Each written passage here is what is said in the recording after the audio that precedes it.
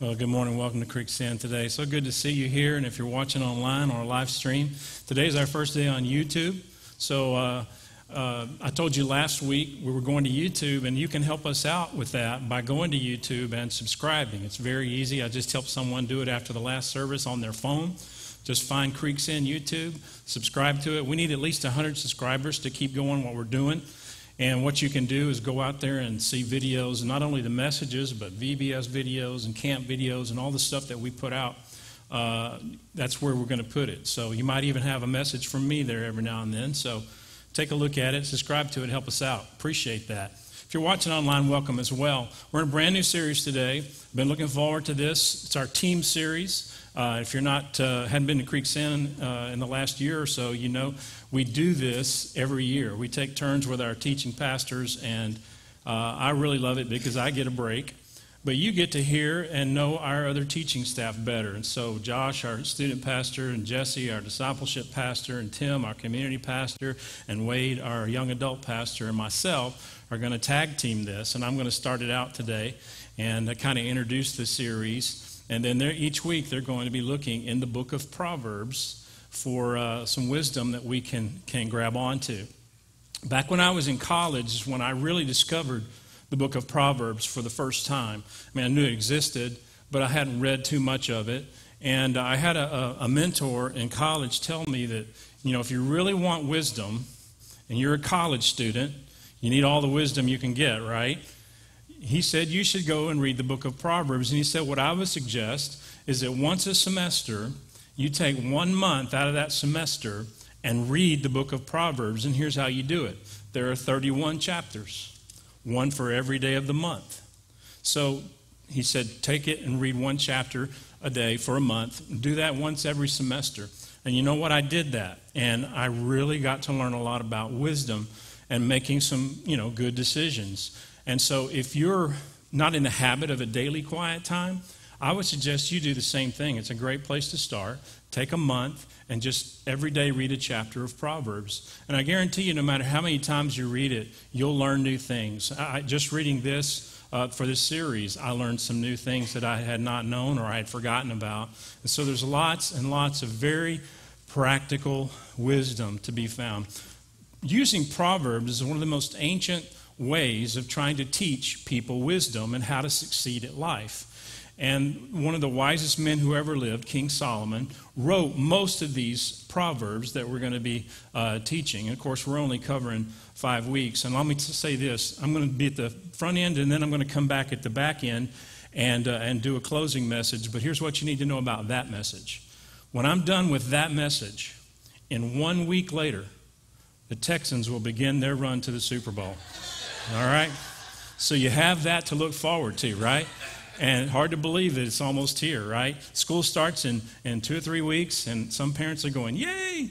And the kids are going, Ooh, but that's okay. I, I, I feel for you, parents. I know your pain. Um, when we talk about the book of Proverbs, we're talking about little statements that give us some meaning and some wisdom about life. In, in Hebrew, there's a word for Proverbs called mishle. Mishle. Say that with me. Mishle. Now, I can tell your friends and coworkers you know a Hebrew word, right? Mishle means to be like. And in, in the Proverbs, what you're going to have is very, a, a whole lot of comparisons of this is what it is to be like, to be wise.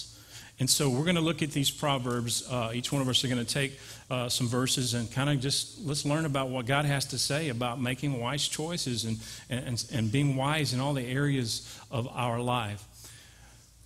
There's a verse that we kind of springboarded off of. I'm going to put it on the screen. I think it's in your notes at the top of your notes there, but it's where we get the title for our series. It's from the 24th verse of the first chapter. And what Solomon does is he personifies wisdom, he, he treats wisdom like a person. And so wisdom is speaking here and it's talking to us, saying this You refuse to listen when I call, and no one pays attention when I stretch out my hand. That's wisdom talking to us. And that's where we get the, the pay attention title for our series. Because I don't know if it's, maybe we're born with it, but I think we have the tendency from the day we're born to ignore wisdom.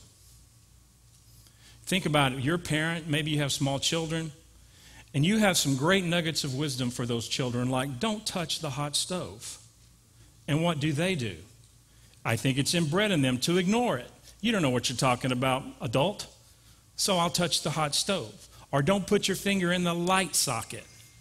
You know, wasn't it great when they came along with those things that you could plug into the light to the electrical sockets, except when your kid brings you that thing? You know, it's a, what's this, mom? What's it doing in it? But the wisdom that it takes to say things like that, don't do that. We have the tendency to ignore it. And it goes into the adolescent period. We ignore wisdom as teenagers. And then that carries on into adulthood. It's just in a different way. We have this tendency to ignore wisdom. And God calls us, if we're believers, to wisdom, to learn wisdom, to practice wisdom. And He wants the best for us, just like a, a parent would for his child. And in the Proverbs, you're going to see Solomon coming from the angle of a father to a son or from a parent to a child, saying, I'm just telling you, I can help you out here if you'll just listen to me. Here's some wisdom for you. And we're going to, we're to look at it kind of in that context. Today we're going to be in Proverbs 2. And uh, as we dig into this book, let me give you the overarching truth that's going to apply to today and to the rest of this series as well. But here's the main thing I want you to know. In order to get wisdom, there are conditions that must be met. So pay attention. You've got to meet some conditions if you want godly wisdom. Now, God, God's word says this in the New Testament if any man lacks wisdom, let him ask of God. And that's true. If you want wisdom, God says, ask me. But asking is not enough. You have to receive it to get it.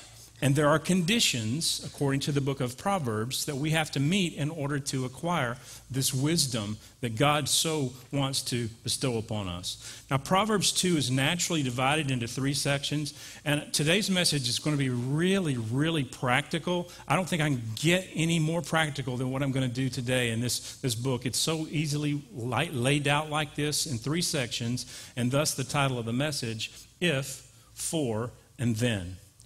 So we're going to read the first 15 verses because that's all we have time to read today. And then I'm going to go back and we're going to take each section and talk about it, okay? Uh, beginning in verse 1 of chapter 2. My son, and here's that parent child relationship. My son, if you accept my words and store up my commands within you, turning your ear to wisdom and applying your heart to understanding.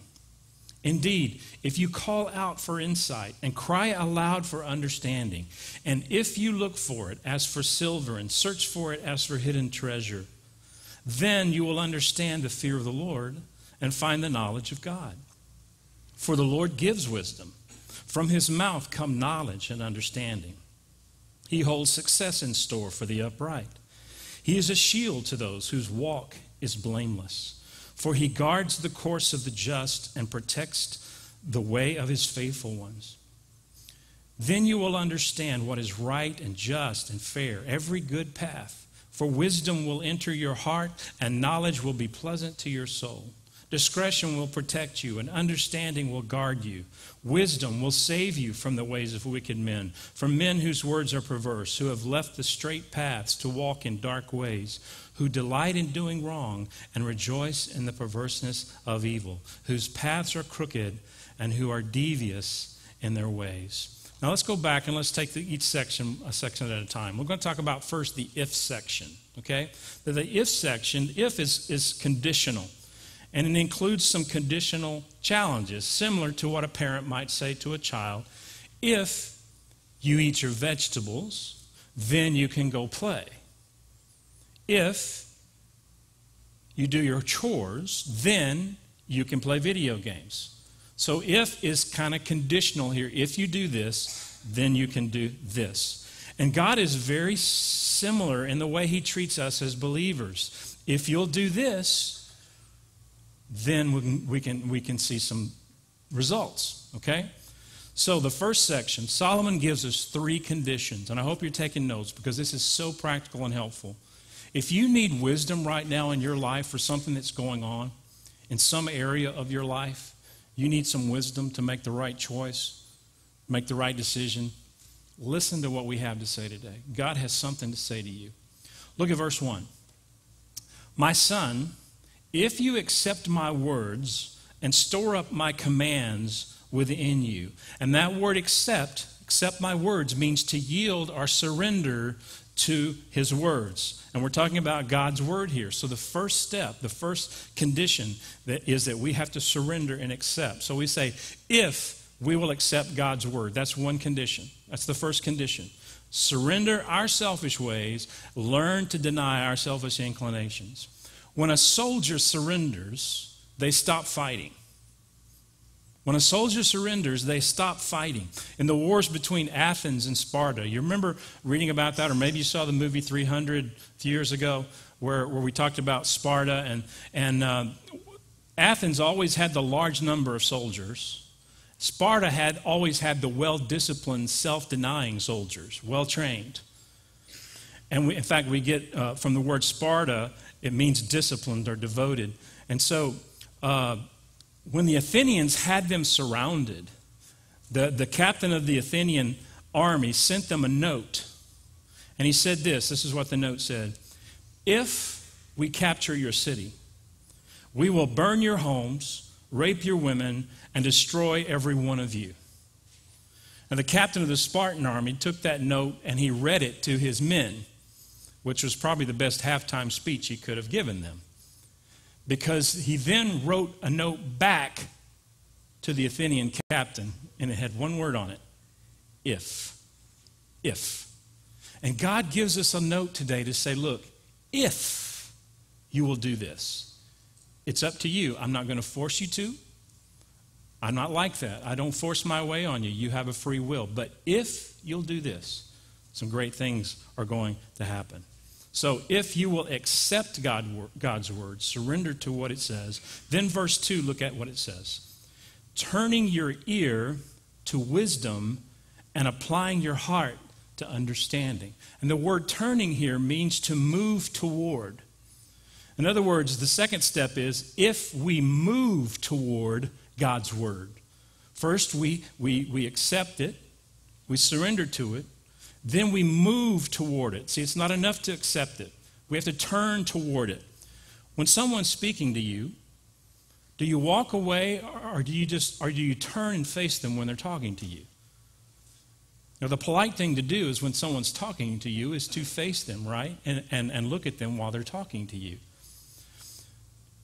When you need wisdom, where are you turning first? Where do you turn first? Do you turn toward God's word or do you turn toward something else? Do you turn towards God's word or do you turn toward Dr. Phil? Do you turn toward God's word or do you turn to Oprah? Do you turn toward God's word or do you turn to a self help book? Do you turn toward God's word or do you turn to your own thoughts and ways? See, who do you turn to and, and Solomon's trying to tell us we have to turn toward God's word. And even more, the rest of verse 2, look at what it says. And applying your heart to understanding. And the word apply here actually in Hebrew means to bend. In other words, we bend our lifestyle to God's word. That's a third condition. In other words, we have to apply God's word. We have to bend our lifestyle to match God's word. I see this all the time, but I see people trying to bend God's word to fit their lifestyle. Time and again. But God says, no, you've got to bend your life to fit my word. That's what applying it means. So, those are the three conditions. That's the if section. If you will accept my word, accept God's word, then if you will move toward it, move toward it, and then apply it, bend your lifestyle to match it. If, then we have the for section. And for is a term of reason. It's similar to because or what. Now, something else we carry with us, I think, into adulthood is the same thing our kids ask us when we tell them we want them to do something. They say, Why? And our standard answer is because I said so. Yeah, see, you're no, you're doing no different than the first service. They got it right off the bat. Because I said so, right? Okay? Well, God goes a little bit further than because I said so. And He really gives us why. These are the conditions. If you will do these things, this is why I want you to do these things. So, this is the fourth section. Look at verse 6. For the Lord gives wisdom, from his mouth come knowledge and understanding. And God says, I want you to accept my word, move toward my word, apply my word because, and here's the first four, for you will get understanding. After we meet God's conditions, we'll get understanding, knowledge, wisdom, he says. See, there's a lot of great things that Christ followers get when we receive Christ. We get forgiveness for our sins. We get to go to heaven. We get a new nature. But in this proverb, God promises to give wisdom on how to live wisdom, knowledge, and understanding. Some of us have messed up our life, but God will make us wise if we will listen to Him. Let Him tell us how to live. If you will meet the conditions, you'll get the understanding. But that's not all. Look at verse 8.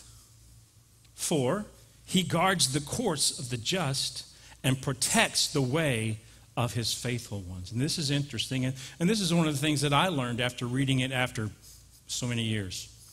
That word faithful ones, circle that. Because that word faithful ones, when you translate it into the English, it's the word saints. In the Old Testament, a saint meant that you were a favored one. When you were a saint in the Old Testament, God looked after you.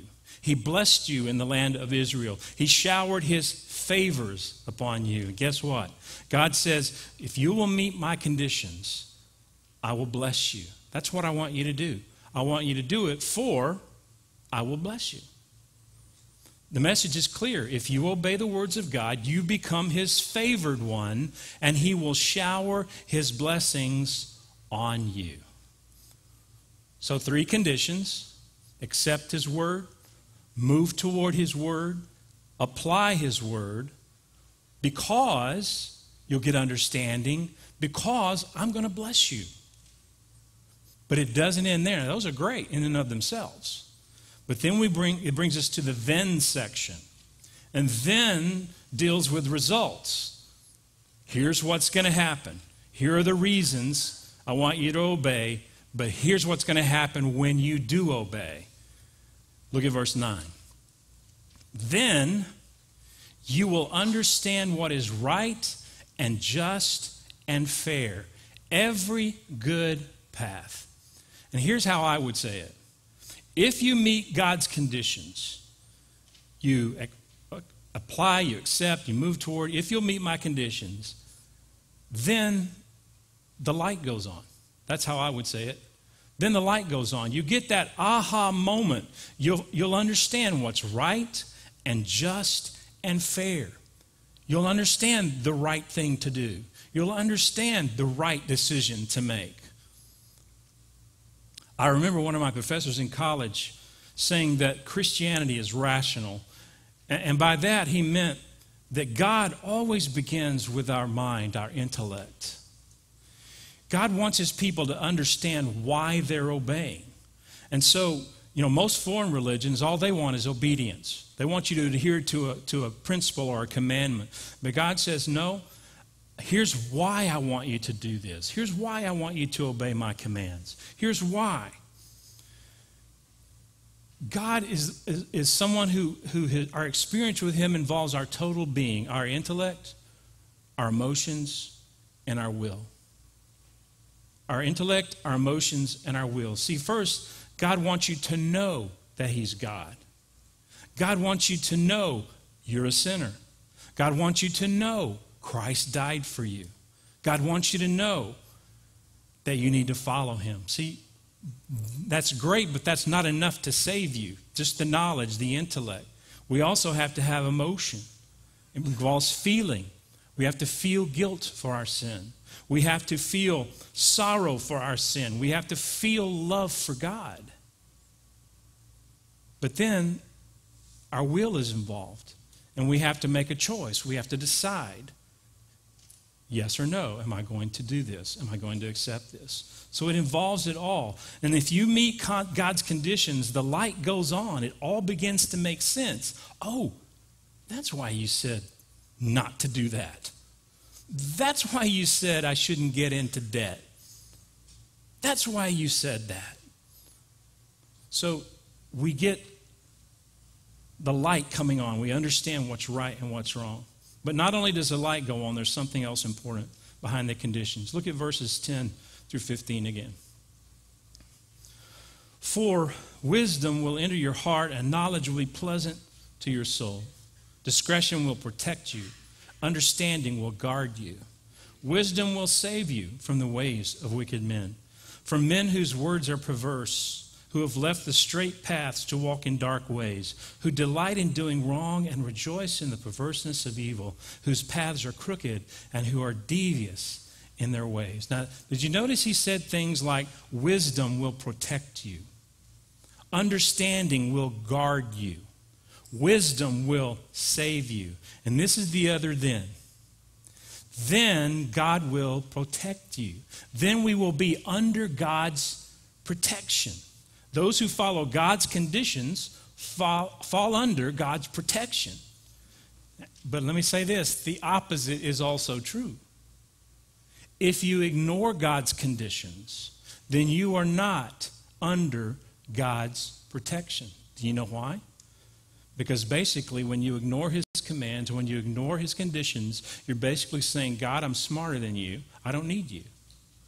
And so God will say, okay, you do what you want but I'm not obligated to protect you because you refuse to listen to me. We fall under his protection when we meet the conditions, accept his word, move toward his word, apply his word, then I can protect you. I can protect you from making bad decisions. I can protect you from hanging around with the wrong crowd. I can protect you from going into debt. I can protect you from dating or marrying the wrong person if you'll meet my conditions. So there you have it. There are conditions that we have to meet in order to acquire godly wisdom. And God says, if you'll do this, this is what you get. Now, here's the deal how do you apply this? How do you apply this? And here's the best way I know to do it. Let's just think about what we just heard and take a situation and apply it. Let's just start with finances. Every week on our connection card, someone asks us to pray for their finances. And I, that's great because they're beginning to understand that God wants me to be wise with my finances. And it's a great thing to do to invite God into your finances, ladies and gentlemen, if you want to be blessed. And we pray for you and pray with you. But if we take what we just learned, which says, if we meet his conditions, which are accept his word, move our lifestyle toward his word, apply his word, here's how, what that looks like finances. God, how do I, how do, I do finances? Look at what my word says about finances, God will say. And his word is full of things. Honor God with the first fruits. His word says, talks about giving. His word talks about saving. His word talks about getting into debt. All of those things are covered in His word. But you have to listen to it, accept it, and then move your lifestyle toward it. If you do, then God will bless your finances. If you do, God will protect you from, from debt. It's all conditional, but you have to do it. Does that make sense? Does that, that's how you apply this. As you look at what his word says, move your lifestyle toward it, and then God says, I'm going to bless you and I'm going to protect you. It's that simple. And by the way, if you are dealing with some financial struggles, this September 5th, we begin another session of financial peace. It is a wonderful thing. Many people have gone through that and felt just like some of you felt and have been able to get out of debt. Doesn't happen overnight, does it? But it can be done. And God will bless and protect your finances. Let's take another area. Let's take the area of relationships. Maybe you're struggling with uh, some dating issues or, or, or spouse or even a relationship at work or someone you love, a son, daughter, parent, whatever. And you're saying, God, what, what should I do about this? Well, we take His Word, take everything that God has to say about relationships, and He has a lot to say about relationships. He says, bad company corrupts good character. He says, do not be unequally yoked with an unbeliever. He says, faithful are the wounds of a friend. He says, no greater love than a man has than to lay down his life for a friend. He says, you need to guard your heart and be faithful to your spouse. He says all of those things in his word. What do we have to do? We have to accept it, move our life toward it, bend our lifestyle to apply it. And if we do, God says, I will bless your relationships and I will protect you. It's, it's not real hard until we just have to do it. One more area. Let's take your career. Maybe you're in a position now where you just don't like your job anymore. You're wondering if you'll ever get to move up. Maybe you're looking for another job. Maybe you're just struggling with a coworker or your boss or an employer or whatever. And you say, God, what do I need to do about this? God's word has a lot to say about the work, the work situation.